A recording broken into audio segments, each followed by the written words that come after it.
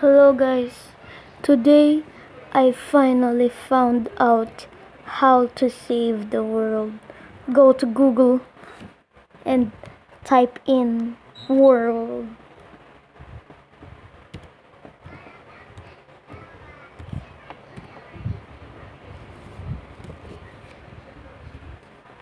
And then go to images and then right click the world. And save the world.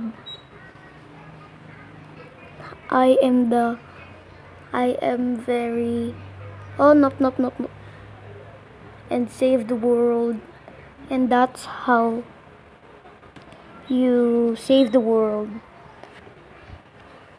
Okay I'm end the video right there. I'm sorry if this video was too short but I just wanted this to be a skit and